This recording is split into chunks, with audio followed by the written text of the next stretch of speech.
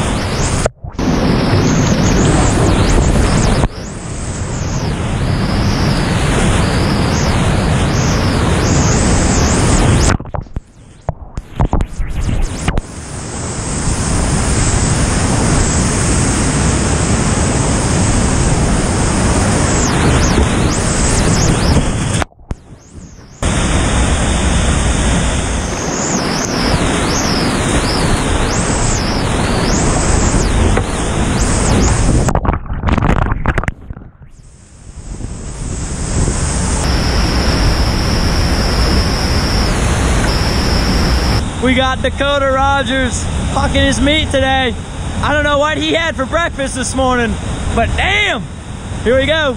Big boy. Yeah! A day! Love day, boy!